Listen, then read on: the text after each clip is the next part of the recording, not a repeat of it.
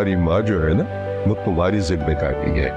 अगर उसका बोझ तुम पे पड़ जाए तो घबराना मत। क्या आपको वाकई लगता है कि बेबी बाजी पर किसी ने कुछ करवाया होगा? किसी ने नहीं ये सब कुछ अजरा ने करवाया। चाचू दादा आप कभी वापस नहीं आएँगे? अल्लाह मेरी बाजी को ही उम्र इस उम्र में एक चला जाए तो दूसरे को तन्हाई खा जाती।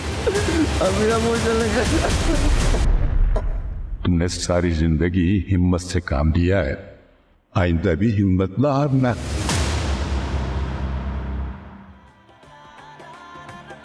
बेबी बाजी, देखिए रोज़ाना रात नौ बजे। सिर्फ़ ए आर वाई ज़िंदगी भर।